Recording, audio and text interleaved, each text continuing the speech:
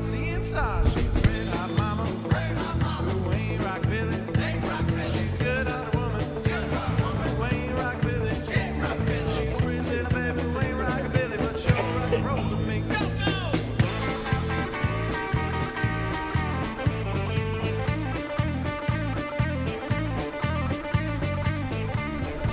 Uh, Joe Bruns. We're from Eugene, Springfield area, down Eugene, and uh, it's a 30 Model A sedan. Uh, it's got a small block in it, 8-inch Ford rear end. Uh, made the trip up, got up here about two this morning, and a little bit of sleep, and uh, it should be a blast. I can't believe anybody would not make it to this show, being the first show up here. So um, it's nine o'clock, and the place is already full.